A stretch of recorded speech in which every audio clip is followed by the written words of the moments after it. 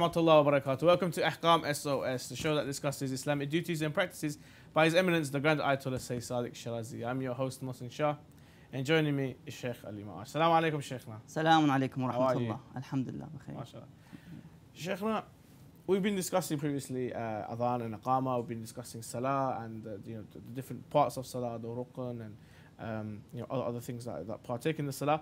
What I wanted to ask you was, is that are there any rules that are concerning the movement of someone that is not considered part of the Salah? For example, I mean, we, we've seen it before in, in, in the mosque, in Jama'ah People are pr- pr- standing to pray and sometimes they swing a little bit like this or they make some, you know, random movements which are not really part of the, the Salah.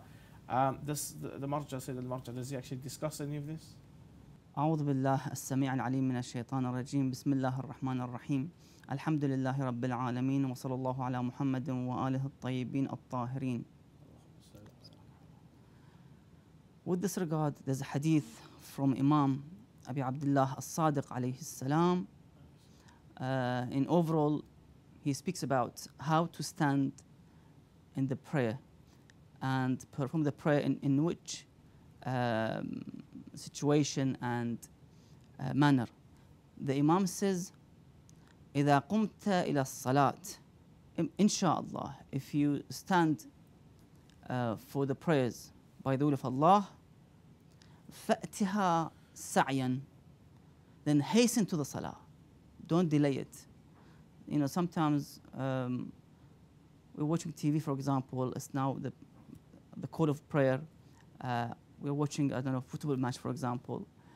And then we slowly, slow, slowly go to the bathroom to do the wudu and so forth. The Imam says, فَأْتِهَا سَعْيًا Hasten. Uh, try to quick, quick, quick um, quicken your um, actions and, and go for the salah.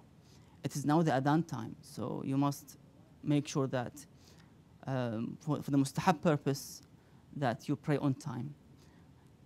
فأتها سعيا Then he says, وَلْيَكُنْ عَلَيْكَ السَّكِينَةَ وَالْوَقَارِ And make sure that you're calm, you have the calmness state and tranquil manner. So you make sure that you approach the salah with calmness, with tranquility.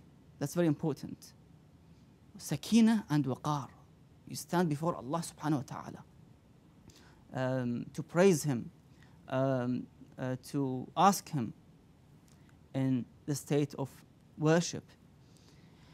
Now, with regard to the, uh, the question you've asked, uh, if somebody moves in the salah, if it's not deliberate, that's important.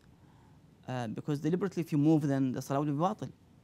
You know, if you move out of the, um, the state of salah, then of course the salah is batil and void. However, if it's not deliberate, and you suddenly move in the salah, you were reading Surah Al-Hamd, suddenly you moved for any reason. I don't know, somebody scared you, for example, from, the, from behind, for example, or something happened, you know, things happen um, out of sudden. So in this case, what you do, you have to keep quiet, go back to the ayah that you read while you were moving.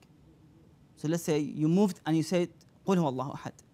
So you stop, you keep quiet, you keep calm, uh, stationary, motionless, and then you go back to the same ayah that you've read while you were moving, and you read it again in um, stationary and motionless state. And then you continue the salah, the salah is sahih and correct. Ahsan. Um, Sheikh, what about if um, it's accidental where someone else made you move, someone hit you, for example? Um, I don't know, you're in, in uh, Jama'ah, uh, someone's coming to join the prayer, accidentally, you know, barges you, you may step forward or, uh, God forbid, fall over or something like that. Does that render the salah batil?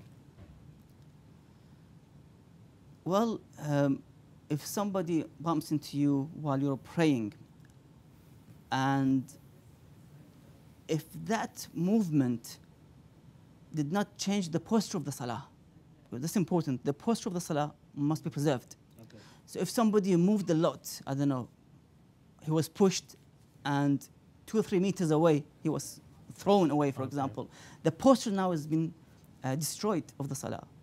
So he has, he has to do the salah again. But if just a slight movement, that's fine. As I've said, again, he keeps quiet. He repeats the ayah in which, or the dhikr that he read while he was in the state of movement in that So, few Like, seconds. so a nudge is okay, uh, but if he was I pushed onto the floor, by Exactly, accident, exactly, um, he'd have to get up and start from the beginning. exactly. Okay. It's all to do with the posture of the salah. If the posture was changed and hmm um, modified, you know, the salah posture, then he, this person must uh, repeat the salah again Ahsan. from the beginning. MashaAllah. Um, Sheikh, what about if, you know, while we're praying Salah, we're, we're focusing on Allah subhanahu wa ta'ala, we're having a little, uh, you know, worship and, um, what you call it, um, meditation, and then the phone goes off or the doorbell rings, as in someone is calling us, someone wants our attention while we are giving our attention to Allah subhanahu wa ta'ala. Um, is it permissible to, you know, stop the Salah for uh, things like this? Well, it is an obligatory uh, prayer and wajib salah, so you cannot, uh, for such reasons, um, break your salah and make it batil, and then you go and open the door or answer the phone, um, except in the mustahab salah. Mustahab Okay. salah, yes, you can. It's a mustahab salah, it's not wajib salah. But for the wajib, you cannot um, leave the salah, break it, it's haram. You can't break the salah, you can't make it batil and void. You know, you turn your face and you move out of the salah. Uh, you have to s- stay in the salah, finish the salah, maybe a bit quick, quicker than usual, and then you go and, and answer the phone or, or the, uh, uh, the door. If it's I mean, something urgent, then that's fine. Otherwise, they have to wait until you finish the salah and then they reply back. Sheikh, are there any other obligatory uh, acts and parts of the salah at all?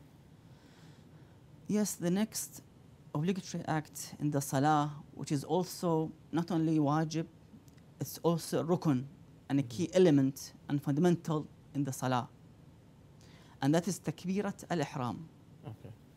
saying Allahu Akbar Loud. in the salah. Mm. Now, because um, the takbirat al-ihram is one of the five key elements and Yes. arkan in the salah, you must perform it. It's wajib. Um, so if you leave the, the um, takbirah uh, unintentionally, you forgot.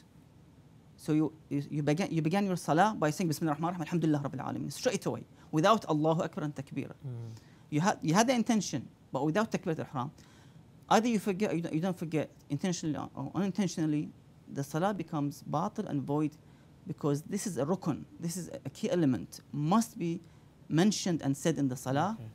And for any reason, you don't mention it, you forgot about it, or was deliberate, you left it, the salah will be batil.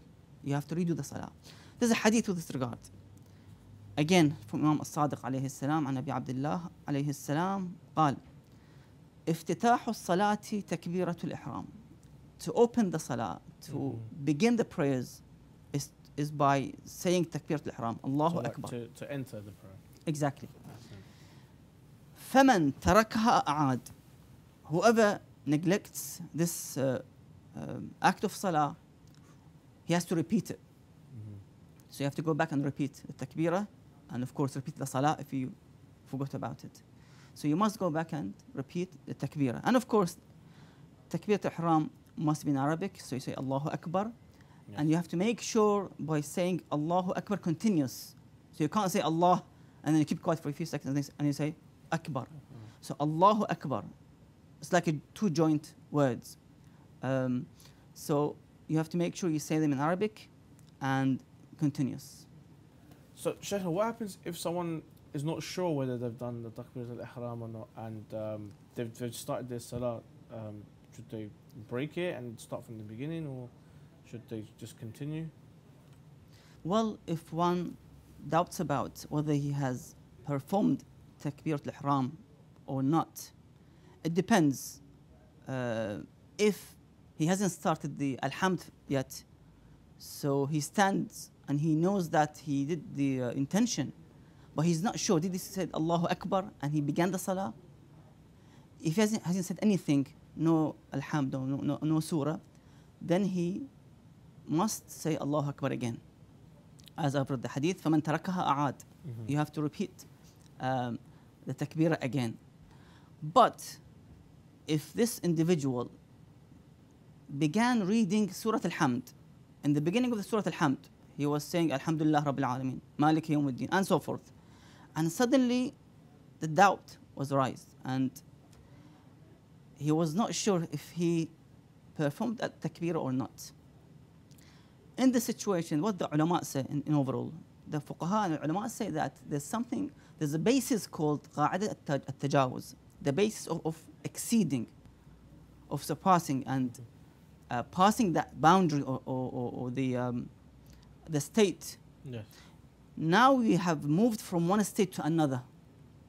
So this qa'idah comes and it says, okay, as far as you have the doubts and you are in the middle of something else, you're in the middle of the hamd, surah, and so forth, then you should ignore it, ignore this doubt, and continue your salah.